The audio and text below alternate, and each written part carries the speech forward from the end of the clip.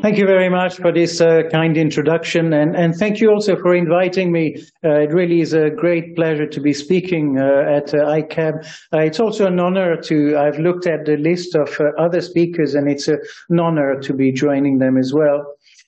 Um, I, I have been looking at the relationship between technology and accounting for about 30 years. And my sense is that digitalization is the biggest transformation in the history of business. And if we think of accounting in a sense as a language of business, then it's obviously going to be the biggest transformation that is confronting the accounting profession. So this is the focus of my talk. I'd like to basically highlight some of the changes that are coming our way as accountants, as finance professionals, uh, and this is based in on on a number of sort of uh, conversations with accountants, as well as research, as well as surveys, as well as qualitative information that is stemming from industry, from the Accountancy Institute, and from elsewhere. So uh, I'll, I'll share my screen with uh, some PowerPoints. So what I would like to do then is really focus on digitalization and automation and the, its impact on the finance function. Uh, I wrote a book recently, which uh, uh, was in the making for about three years, talking to accountants and organizations that service the accounting profession, as well as managers and executives who use accounting professionals' services. Um, I, I, found one one realization that came out of my interviews and my discussions with individuals in accountancy is that there is a small number of accountants who fully grasp and understand the impact of digitalization and uh, making preparations for it. But then there's a much, much wider number of accountants who I think need to understand and want to know what exactly is going to be the impact of this. And my sense is that there is not enough preparation in that direction. So I want to highlight some of the things that perhaps we should be thinking about. There are three things that have come out loud and clear from, from uh, my research.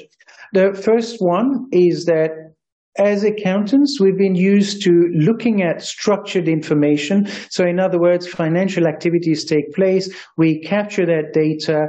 We introduce it into our accounting systems to produce financial statements. And then different parties, decision makers and others basically rely on that information to uh, make, make decisions and so on. Um, I, I think it's very clear now that with, with digitalization, there's a much, much, much bigger set of data that accountants have not been used to unraveling for decision making purposes. And this basically is a gem that lays hidden to those who don't understand the impact of digitalization. And I want to sort of focus on that a little bit. Uh, my sense is that unstructured data has huge potential for accountants to tap into. It probably represents in very many organizations 80 or 90% of the information. Uh, unfortunately, accountants focus on just economic transactions based on structured data, whereas unstructured data in a sense, provides a vision of what could happen in the future in terms of financial transactions. So I'll spend a few minutes talking about that shortly. The second finding is that we we, see more and more decisions being taken by machines in organizations. Later on uh, in, in these sessions, we'll talk about RPAs and perhaps we'll talk about AI and machine learning. And we'll see that RPAs themselves are the subject of change through artificial intelligence. The third thing thing, which is also as crucial, is that as accountants, we used to have an accounting information system that reflects changes in the products or services of the organization. Today, the two are becoming intertwined, they're becoming joined, and this means that the product embeds the accounting information system, which itself has quite important implications. So uh, to turn to the, the first first element, uh, we are used to looking at structured data, and what happens is that this structured data is reliant on economic transactions. The accountants converts this into accounting data, and then digestible financial information, income statements, budgets, balance sheets, and so on. The decision maker relies on that information. What has not taken place to any great degree is this horde of unstructured data, which is the um, uh, antecedent to economic transactions. So if I said to you, you can read today's newspaper, you would say, well, that's great. That is today and yesterday's news. If I said you can read tomorrow's newspaper today, I think you would jump on it. And this is exactly what unstructured data represents. So a huge data set that accountants have to confront in order to maintain their relevance. The second point that I mentioned is uh, the the extent to which machines are making decisions. So as accountants, we are used to looking at data which we, we format into financial insights for decision makers to make decisions. The actions create more data. The data is captured by accountants produced in a readable format for humans who make further decisions and so on. So we often refer to this as the planning and control framework. I think increasingly what is happening is that we have data that is analyzed by machines. The machines themselves take action independently of humans. And of course, those actions produce more data. And you find that there is a second feedback loop that is very, very, very rapidly emerging. And the important thing to understand is that machines don't need any specific formats to make decisions. Humans cannot look at raw data and make decisions. It has to go through an accounting re-representation domain before decision can be made. The machine does not need to understand accountancy. The machine can go from data to action. In fact, it even bypasses the step of decision making. You go straight from data to action. That take place, takes place increasingly rapidly. More and more data is generated, which then gives rise to the opportunity for machine learning. As that loop unravels faster and faster, we'll see, as, as was suggested by Khurshid, uh, we'll reach a point of singularity where machines' ability to make good decisions supersede those of humans. Uh, so these are quite important trends in terms of machines starting to make decisions, creating more data on which they can learn even more how to make better decisions. The third point that I mentioned is that we have information systems that are becoming embedded into services and products. And the important thing is that those digital technologies also talk to one another. And that talking to one another also unravels and triggers a new chain of learning. And so machines talking combined with artificial intelligence and machine learning will and is making an impact on decision making. And this is a point that I'll come back to uh, quite shortly in terms of the implications for accounting and finance professionals. Now, traditionally, we've been used as accountants to look for cost savings based on what we understand about analog processes. Commerce, organizations, industry shifting into a digital era and as accountants and financial professionals, we need to move away from an understanding of the analog world into an understanding of what digitization represents. And I think what we will see is that data gets created through action, that data enables learning, which enables more action to be taken, which produces more data, and so on. This feedback loop is getting faster and faster, stronger and stronger within those organizations that have made forays into digitalization. Once this happens, it, it, it is like a snowball that becomes bigger and bigger and bigger. And it'll be very, very difficult for organizations that don't enter the digital domain to catch up with that. So this is really learning on steroid because of the production of digital data, which means that accountants also have to have a dose of steroids.